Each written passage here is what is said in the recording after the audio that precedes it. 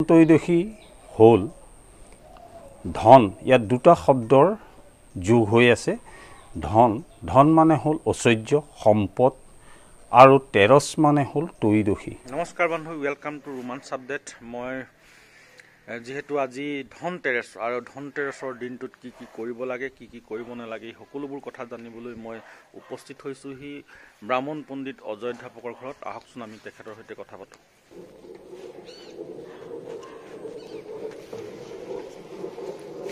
Sir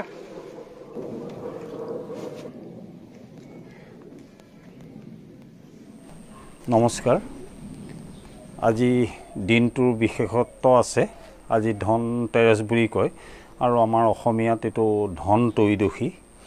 ইয়াৰ এই ধন ত্ৰয়োদশীৰ এটা উদ্দেশ্য আছে। বিশেষকৈ আমাৰ অসমীয়া সমাজত ইয়াৰ প্ৰভাৱটো বৰ্তমানেহে পৰিবলৈ লৈছে। এই প্ৰভাৱটো আচলতে আমাৰ ভাৰতৰ বিভিন্ন দেশত আছে। এই ধন ত্ৰয়োদশী হ'ল। ধন ইয়াত দুটা শব্দৰ যোগ হৈ আছে। ধন ধন মানে হ'ল ঐশ্বৰ্য সম্পদ আৰু তেৰছ মানে হ'ল ত্ৰয়োদশী। ত্ৰয়োদশী মানে তেৰ দিন। কি বৰ্তমানে এইটো কালী পূজাৰ আগৰ যিটো কৃষ্ণপক্ষৰ তেৰ দিন পৰে সেইটোকে ত্ৰয়োদশী বোলে। এই ত্ৰয়োদশীটোত এটা বিশেষ মহত্ব আছে বুলি আমাৰ হিন্দু শাস্ত্ৰমতে কয়।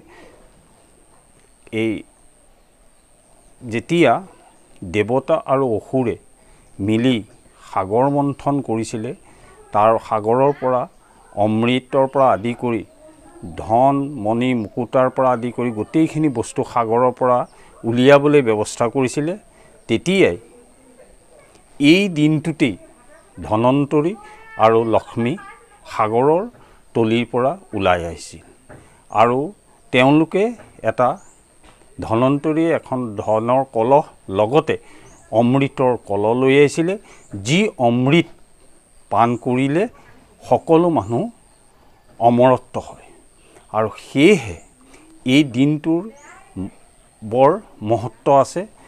আৰু আমাৰ ভাৰতৰ বিভিন্ন প্ৰান্তৰ লোকসকলে এই দিনটোত সম্পদৰ দিন বুলি কয় আৰু যাৰ কাৰণে বহু লোকে এই দিনটোত আ অলংকাৰৰ পৰা আদি কৰি হীৰা মুকুতাৰ পৰা আদি কৰি বিভিন্ন ধৰণৰ আ অলংকাৰৰ পৰা সম্পদ আদি ক্ৰয় কৰে যাৰ দ্বাৰা লক্ষী সেই ঘৰত বাস হয় বুলি আমাৰ হিন্দু শাস্ত্ৰ মতে কয়।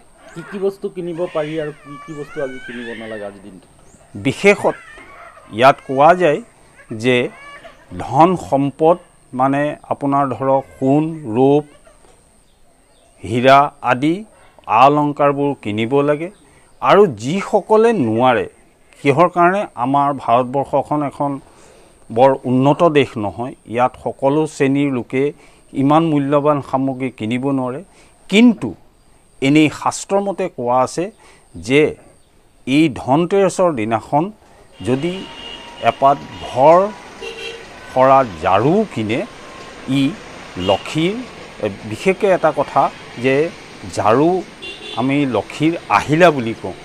ঝাৰুৰ দ্বাৰা আমাৰ কিছুমান কাম হয়। আপোনালোকৰ সকলোৰে এইটো জ্ঞাত। আৰু সেইটো কাৰণে ঝাৰু কিনিলেও এই ধনতেৰছৰ দিনাখন সুফল পোৱা যায়। লগতে আৰু এটা কওঁ যে কি বস্তু কিনিব নালাগে? যেনে লোহাৰে তৈয়াৰী জোঙা বস্তু যাতে কিনিব নালাগে। কাৰণ এই জোঙা বস্তুৰ দ্বাৰা অস্ত্ৰ নিৰ্মিত হয়। আৰু সাধাৰণতে এই অস্ত্ৰ আমাৰ মানৱ সমাজে বা দেৱতা সমাজে ব্যৱহাৰ নকৰে।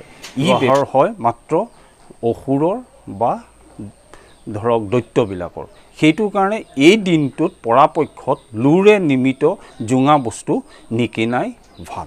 আৰু কিছুমান বাচন বৰ্তন যে কিনে লোহাৰ জাতীয় সেইবোৰ কিবা বাচন বৰ্তনত তেনেকুৱা নাথাকে। এনেই পৰাপক্ষত আমি লোহা জাতীয় বস্তুটো বৰ্জন কৰাটো ভাল। আৰু যদি কেনেবাকৈ কিবা কৰা হয় তেতিয়া জোঙা জোঙা বস্তু মানে যি আমাৰ অস্ত্ৰৰ নিচিনা দেখা যায় তেনেকুৱা বস্তুবিলাক কিনাৰ পৰা দূৰত থাকিব লাগে। আৰু খোৱা বোৱাৰ ক্ষেত্ৰত কিবা বাধা আছে নেকি এই দিনটোত? এই দিনটোত এটা চক আমি পৰা প্ৰায়ে মাছ মাংস আদি খাই থাকোঁ।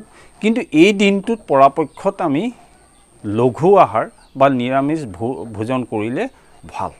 আৰু আজিৰ দিনটোত যিসকলৰ জন্ম মানে এই তিথিটোত তাৰ তেখেতসকলৰ কাৰণে কিবা হেৰি আছে নেকি? মানে তেখেতসকলে এতিয়া চাওক এই তিথিটো এটা এই তিথিটোৰ মহত্ব আছে। এই তিথিটোত লক্ষ্মী সাগৰৰ পৰা বাজ হৈছিল আৰু সেইটো কাৰণে এই তিথিত ল'ৰা বালক বা বালিকা জন্ম হ'লে তেওঁ যে এটা শুভ দিনত জন্ম হয় বুলি আমাৰ হিন্দু শাস্ত্ৰমতে কয়। নমস্কাৰ বান্ধৱী আজি যিহেতু ধনতেৰছ গতিকে ধনতেৰছ বুলিতো কিবা সোণ ৰূপ কিবা এটাতো ল'বই লাগিব। সোণ ৰূপলৈ সোণ ল'বলৈ অৱশ্যে পইচা নাই তথাপিতো কিবা নহয় কিবা এটাতো ল'বই লাগিব। গতিকে মই আহিছোঁ জুৱেলাৰী এখনলৈ গতিকে কিবা নহয় কিবা এটা লৈ ল'ব লাগিব। এয়া দেখিছেনে আপোনালোকক দেখুৱাইছোঁ। এইখন জুৱেলাৰীত মই আহি পালোহি। কি জুৱেলাৰী আপোনালোকৰ? যুগময়া জুৱেলাৰী। যুগময়া জুৱেলাৰী। যুগময়া জুৱেলাৰীত মই উপস্থিত হৈছোঁ বোকাখাটৰ আৰু ইয়াত আপোনালোকে কিনিব পাৰিব গৈছে বিভিন্ন প্ৰকাৰৰ সোণ ৰূপৰ পইণ্টছ আছে বা অন্য অৰ্ণামেণ্টছো আছে। গতিকে আজি মই ধনতেৰাছ বুলি এনেকুৱা ৰূপৰ পইচা এটাকে লৈছোঁ লক্ষী আয়ে যাতে বসতি কৰে। আৰু লগতে আপোনালোকেও এনেকুৱা ধৰণৰ যিবোৰ সোণ ৰূপৰ অলংকাৰ নোৱাৰিলেও এনেকুৱা ধৰণৰ পইচা আপোনালোকে কিনি আজিৰ দিনটোত যি পৰম্পৰা আছে এই পৰম্পৰা আপোনালোকে ৰক্ষা কৰিব পাৰিব। গতিকে মই লৈ লওঁ এটা এনেকুৱা ৰূপৰ পইচা। নমস্কাৰ বান্ধৱী যদি ভিডিঅ'টো আপোনালোকৰ ভাল লাগিছে তেনেহ'লে লাইক কৰিব শ্বেয়াৰ কৰিব কমেণ্ট কৰিব আৰু যিসকলে ছাবস্ক্ৰাইব কৰা নাই তেখেতসকলে ছাবস্ক্ৰাইব কৰি ল'ব প্লিজ